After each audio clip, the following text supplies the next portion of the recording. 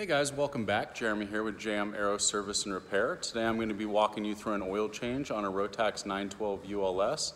We will also be covering the 200 hour tank cleaning, cutting open and inspecting the oil filter, and checking and retorquing and safetying the magnetic plug. I'm going to walk you guys through all the items that you will need to carry out this particular procedure. You will need three liters of proper oil. In this case, we're using the Aeroshell Sport Plus 4, which is formulated for the Rotax aircraft engine. It is a 10W40 semi-synthetic oil that is compatible with 100 low lead and 91 mo gas. We are using our genuine Rotax oil filter. Gloves for safety, especially if there's lead in the oil. We have a clean container we will be using for cleaning the filter element once it's removed from the old oil filter. You will need a container to drain your oil into, a 7 8 wrench. The 3060s are very helpful for getting some of the tank fittings that are a little hard to reach on some engines.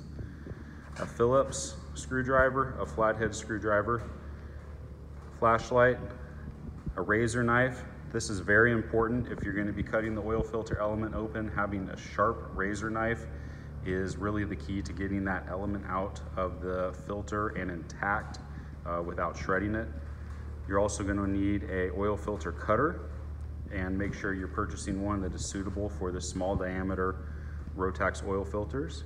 You will need a breaker bar with a 16 millimeter uh, either 6 or 12 point socket for removing the mag plug. If you have an older engine, you're going to need a Torx uh, T40 Torx bit. And uh, if you are running those, I highly recommend upgrading to the 16 millimeter hex bolt head uh, magnetic plug because um, a lot less chance of stripping those out. You will need an oil filter removing wrench. These jaw type ones are really the best way to do it and they are available at most auto parts stores. You will need your calibrated torque wrench capable of torquing to 18 and a half foot-pounds. You will need safety wire pliers and either 32 thousandths or 41 thousandths safety wire and a pair of diagonal cutters. We've determined that we have the proper tools that we need along with the consumable materials necessary to complete the oil change. The next step is to pull the aircraft out and run her up to operating temperature. What this will do is it'll allow the contaminants that are in the oil to be suspended in the oil and then when we go to drain it, it um, works much more efficiently at getting those contaminants out of the system. Okay, so we've reached 175 degrees Fahrenheit on our oil temperature.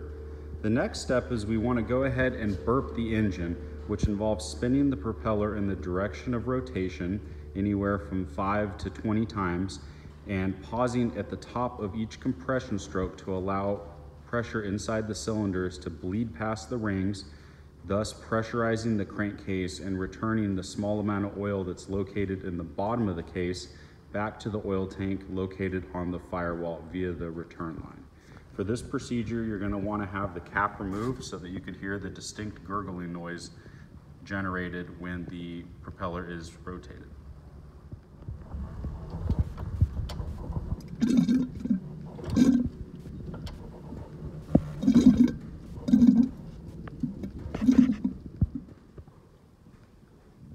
Have determined that all the oil has been returned from the bottom of the crankcase into the sump. The next step is to go to the bottom of the sump and drain the oil out. On this particular aircraft, we have a Curtis drain valve that is installed in place of the stainless steel OEM Rotax drain plug. We're gonna go ahead and allow the oil to drain into the container. If you are on an oil analysis program, then this is where you're gonna to want to be taking your sample, but you don't wanna use the very beginning portion of the oil that's drained out. It's better to use about mid-tank or so. So let it drain about eight to 10 ounces before taking your sample. Now that our oil is done draining, we're gonna go ahead and shut the valve off and we are gonna get our jaw type oil filter wrench loosen the oil filter. If your aircraft is equipped with a oil cooler or radiator installed under the oil pump and oil filter area, you're gonna wanna ensure that you're properly protecting those components from getting covered in oil, which could reduce efficiency uh, if oil and dust start to accumulate on those cooling surfaces. This is also a good time to add that now that the oil has been drained out of the sump and that the filter is being removed, you're gonna wanna make sure and not rotate the prop until the new filter and the oil is reinstalled. Next, you're gonna wanna get your new oil filter, put a small drop of oil on the sealing lip, and ensure that it is properly lubricated. Unlike a conventional aircraft oil filter, the Rotax oil filters do not have a provision for putting a socket and torquing them. They do, however, have instructions that indicate to lubricate the seal, screw the filter on until seated, and then continue another 270 degrees or three quarters of a turn past being seated.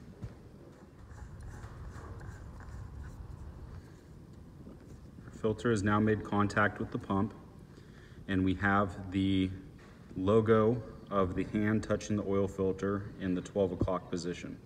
We are now gonna further tighten the filter so that the logo rotates around and will be in the nine o'clock position over here. We have our filter fully installed now. I have it as tight as I can go with my hand and I think I had actually tightened it a little past seated because we didn't come quite up to the nine o'clock position in reference to the logo, but there's certainly uh, no way of getting this thing any tighter. Next, we're gonna go ahead and inspect our magnetic plug. First step is to remove the old safety wire.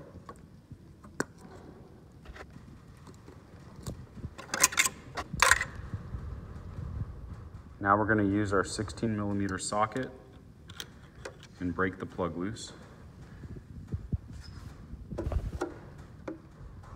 This part of the procedure can also be a little messy.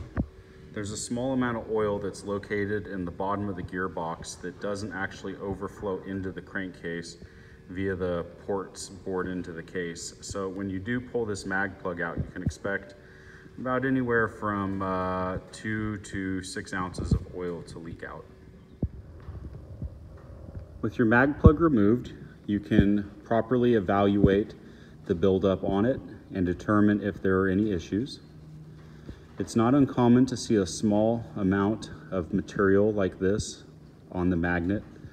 Typically this comes from the three spring washers that are located inside of the gearbox. These spring washers um, put pressure on the backside of the clutch and are what you're measuring when you check your friction torque inside of your gearbox during your 100 hour inspection. These washers throughout the entire time the engine is running are constantly wearing a small amount and typically the buildup that's found on the mag plug is coming from the lip on these spring washers. As the engine runs, they kind of sit there and chafe together a little bit. And of course, the oil lubrication is supposed to cut down on that. There are a couple things you want to look for when you're checking the mag plug. One thing is you want to determine that there are no pieces of material that are two millimeters or longer in length. This would be a mandatory grounding of the aircraft until the propeller gearbox is disassembled and the source of the metal can be determined. You want to take the buildup on your fingers and smear it. And you want to make sure that you don't feel any sort of slivers or chips, that it should just feel like a very fine graphite metallic paste. With the metallic plug cleaned, it's ready to be installed back in the crankcase.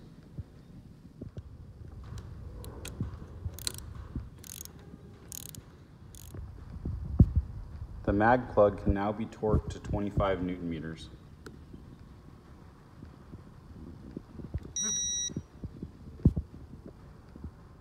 Now that we have our magnetic plug torque to 25 newton meters, the next step is to properly safety wire it. We want to ensure that the safety wire is installed so that it passes through the magnetic plug and pulls the bolt in the direction that caused the bolt to tighten. This will prevent it from backing off in the event of vibration or loss of torque.